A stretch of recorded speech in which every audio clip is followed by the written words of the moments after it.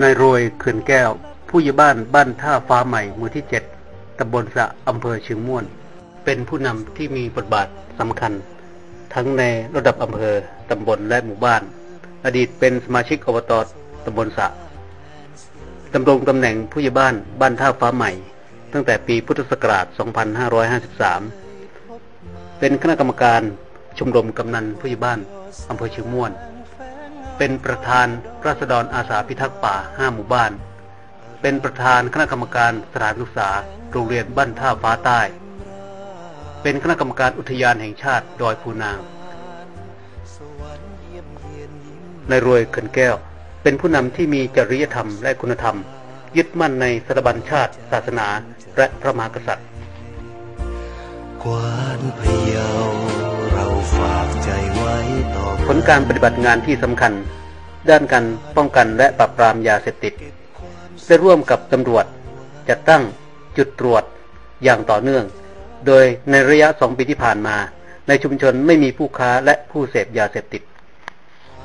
จนชั่วฟ้าชั่วนิรันดร์การได้ร่วมกับทางอำเภอ ท้องถิ่น และผู้นำชุมชนต่างๆ ขับเคลื่อนโครงการ ชุมชนอุ่นใจได้ลูกหลานคืนถิ่นเราเดือนเพ็ญเห็นในน้ำงามในป่าน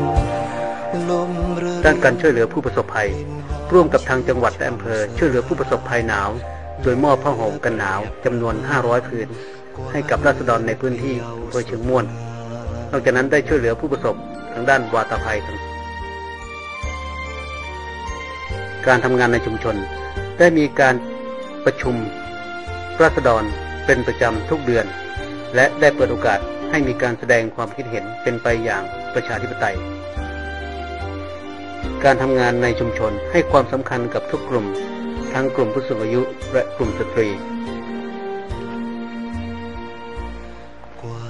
เป็นผู้นำนักพัฒนาร่วมกับราษฎรในหมู่บ้านพัฒนาบริเวณที่สาธารณะ และในชุมชน อย่างสม่ำเสมอทำให้เกิดความร่มรื่น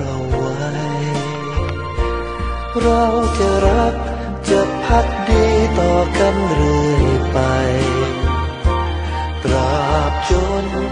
ชั่วฟ้าชั่วนิรันดร์การด้านการจัดการทรัพยากรและสิ่งแวดล้อม ถือว่าเป็นผลงานดีเด่นอีกเรื่องหนึ่ง กล่าวคือได้ร่วมกับหน่วยงานและราษฎรปลูกต้นไม้ในป่าชุมชน โดยดำเนินการตามโครงการปลูกต้นไม้ 800 ล้านกล้า 80พรรษามหาราชินี จำนวน 20,000 ต้น ร่วมกับหน่วยงานต้นน้ำแม่จัวและหน่วยอนุรักษ์ที่ 15 ปลูกต้นไม้จำนวน 14,000 ต้น ร่วมกับสำนักงานทรัพยากร และสิ่งแวดล้อมจังหวัดพะเยา ปลูกต้นไม้จำนวน 8,000 ต้น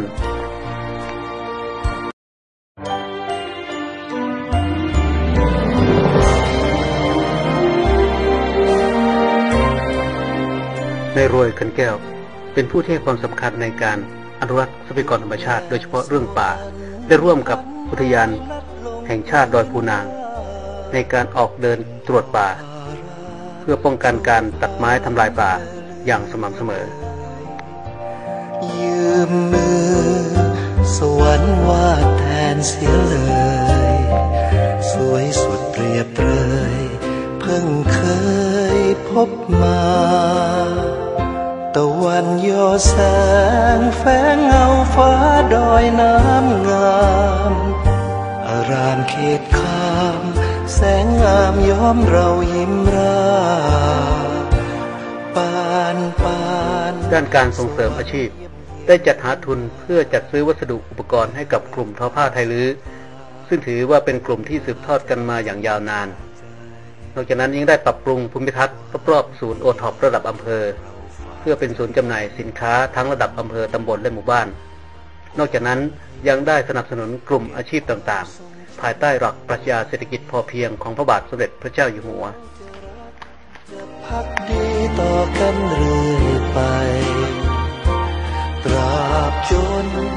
ชั่วฟ้าชั่วนิรันดร์กาได้ลร่วมกับเจ้าวาดวัดท่าฟ้าใต้ และผู้นำชุมชนต่างๆ จัดหาผู้มีจิตศรัทธาเพื่อทอดกฐินประจำปี 2555 ณ วัดท่าฟ้าใต้ ได้เงินบริจาคกว่า 800,000 บาท ลมระรินกลิ่นลิ่นหอมชื่นช่ำเสยด้านการรักษาวัฒนธรรมประเพณี เป็นผู้ที่ให้การสนับสนุนการรักษาวัฒนธรรมประเพณี โดยเฉพาะอย่างยิ่ง ประเพณีไทยลื้อการฟ้อนต่างๆ ตลอดจนให้เยาวชนได้มีส่วนร่วมในการสืบทอดวัฒนธรรม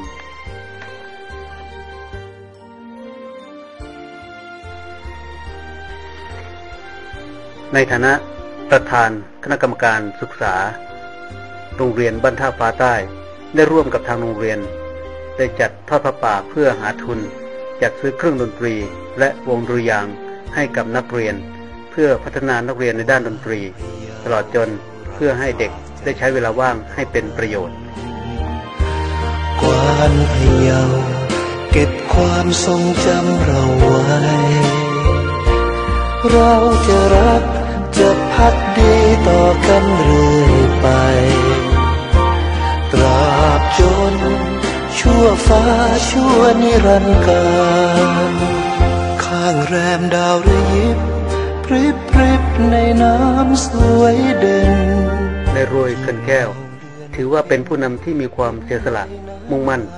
และทุ่มเทกำลังกายสติปัญญาทำงานให้กับสังคม เป็นแบบอย่างของผู้นำที่สมควรได้รับการยกย่องต่อไป เหลือเปรียบประมาณ กวานเมืองพะเยาสุดงาม